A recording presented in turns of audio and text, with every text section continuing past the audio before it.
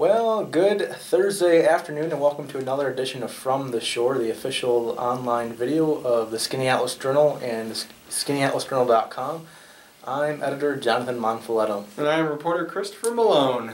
And here we are with our third straight Thursday edition because I'm have a obligation and won't be in the office tomorrow, so here we are. But promise you next week we should be back to uh, to our Friday schedule, and maybe to celebrate that we'll take it, Take somewhere outside or somewhere in Yeah. Skaneateles or Mm-hmm. or even Marcellus. We'll find we'll find a place. Yeah. But in the meantime, if you have any suggestions, feel free to drop us a line. And uh, of course, this Thursday, so that means the weekly Skaneateles Journal came out yesterday. And on the cover, I'm proud to show uh, a story on uh, Skaneateles High School graduate by the name of Calvin Bohrer. Uh, young man graduated high school last year and just spent a full year in Hungary uh, through the uh, Rotary Youth Exchange program. Um, and I know we've talked before about getting the chance to go Yeah. abroad. Uh, I studied abroad when I was in college, and you've been on all kinds Mhm. of trips around the world, and um, so I, you don't have to tell us twice that it's a great opportunity. Yeah. Uh, Calvin's mother is a second grade teacher at Waterman Primary School in Skaneateles, so throughout the year he had been um, Skyping and exchanging letters with the, with the students, and he got back, I guess, uh, just last week Mhm. and popped in Friday and um, shared some experiences with the kids Yeah. and showed them some Hungarian money and uh, pictures of his host family. And he wears, uh, each of the Rotary Exchange students gets this uh, uh, jacket that they wear, Mm-hmm. and they decorate it with pins or different mementos that they collect throughout the year. So he was showing that off too, and that was really neat. It was uh, really neat to see. Uh, How the kids like it?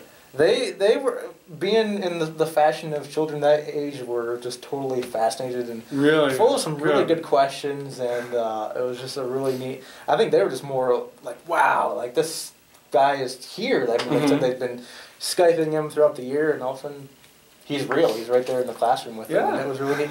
I have to share one story of he kind of was talking about how he found out about going to Hungary because you apply for the program and then you get to you know list your top choices and his were you know France and Germany and some other places in, in Europe. He never really thought of Hungary, but that's what he got assigned. And he texted his mother one word. He just said Hungary, as in the country. she texts back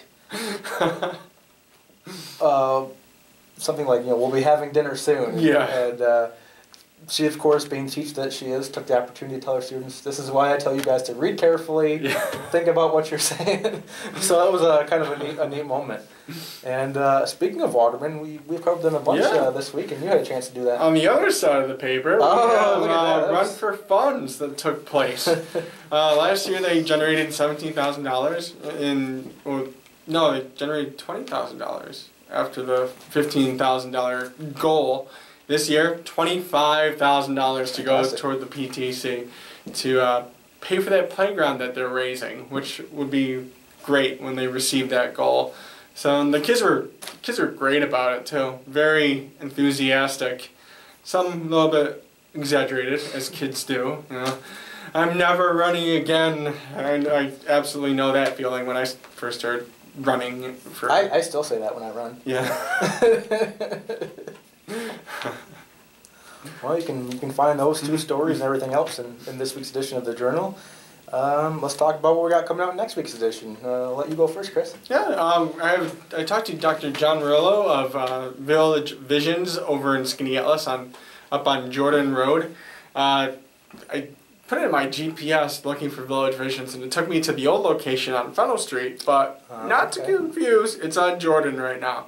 Uh, it's a couple miles up the road, and I had a discussion about his uh, history with uh, optometry and his practice, and it's a nice, cozy little area. Um, uh, Gazella is in the same building as well. Oh, okay. Yep, I know that Yeah. location well. Yep. So, and he's thought of the idea of opening up that place right there because he's at the little restaurant cafe across the street, which I didn't see until I left. So now I know that it's there, and that's another new place I have to check out. So, yeah, uh, Dr. John and I had a great conversation, and he's very active in the community. I've seen him. I've seen him everywhere, and didn't put two and two together until we conversed at one of the Skaneateles business after hours, which was fun. And uh, just today, actually, I kind of, as I was thinking this through in my head, I wanted to kind of preface this like a uh, like a medical commercial with saying, "Do you suffer from range anxiety? Well, Mirbeau in a spa has the cure for you." no, that's kind of corny, but uh, you'll you'll understand as I explain it. Uh, Mirbeau in a spa with a partnership through the uh, the Tesla Motor Company that makes the electric cars. Mhm. Um, and they've installed three uh, charging stations for electric vehicles. Two of them specifically for the Tesla models. One is for you know pretty much any other model like the, the Chevy Volt or Mhm. um, I know Honda's got one. You know everybody seems to be kind of developing electric car these days. yeah.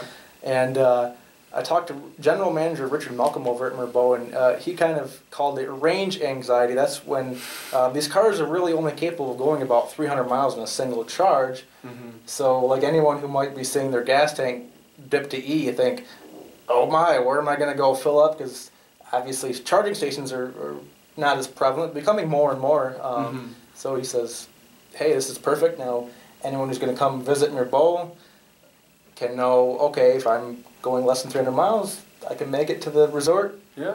I can plug in, charge up, and be good to go when, I'm, when it's time to leave. It was really Great. neat to just to see how it works. Um, there was an actual car there at the time. They, they tried to get one for me, but it didn't Mhm. quite work out. But it was just neat to hear what he had to say about it and, and see the machines up close. And Mm-hmm. uh, it sounds like a great thing for the community, especially in Skaneateles, where there are a lot of people that are um, environmentally conscious like that, and it was uh, really neat to see. Yeah. So, And speaking of running and running short distances, um, actually coming up is the uh, Maureen O'Hara T- uh, Teal. There's a cure run for ovarian cancer in the Marcellus. Uh, it's going to take place on July 4th at Marcellus Park, 10 a.m. And I am actually going to be running for, running it. Okay. So um, I encourage everybody to donate. I have a little fund page set up. I only set a goal of $150 because I was unsure. This is my first actually fundraising for a raise. So uh, it's the it's after you go to the donation page, you do the slash mark and it says running reporter. That's the I like so that. Go there and donate, or you don't have to donate to me. Just donate to the cause. And but if you donate to him, he'll like you more. yeah, exactly. And if, and if you run a run with me, by all means, I'll be there. And uh, speaking of fitness fundraisers, uh, the week after that will be the Alive, sorry, the Ride for Alive, which is put on by the Alive Foundation every year. It's a, a bicycle ride, not competitive, just go out there and have fun and bike around the lake. There's a 50, 25, and 10 mile ride, so you know it's kind of built for all uh, Mhm. all ages, all all abilities, that kind of thing. And um, that's of course uh, sponsored by the Alive Foundation, which is was established by Julia Wamp and her husband. Uh, Julia is a breast cancer survivor, and her foundation helps uh, create programs um, centered around health and wellness for cancer survivors. You know, once they finish their treatment, you know, kind of get them, get that health back and get that strength back. So that's Mhm. been the mission, and that's their biggest fundraiser. So check it out. All right. Well, I think that's about all we got for this week. Uh,